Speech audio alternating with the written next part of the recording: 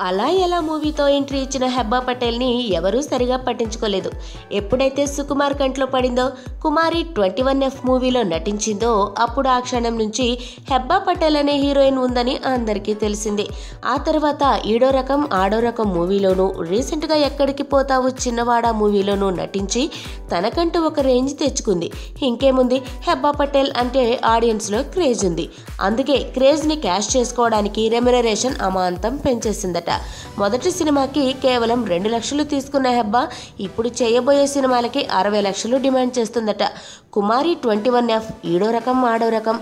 ఎక్కడికి పోతావు చిన్నవాడ సినిమాలకి చేయని డిమాండ్ ఇప్పుడు కొత్తగా చేయబోయే సినిమాలకు చేస్తుందట.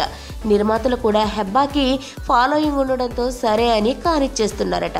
ప్రస్తుతం హెబ్బా పటేల్ ఏంజిల్ మిస్టర్ అందగాడు నాన్న నేను నా బాయ్ ఫ్రెండ్స్ సినిమాల్లో నటిస్తుంది.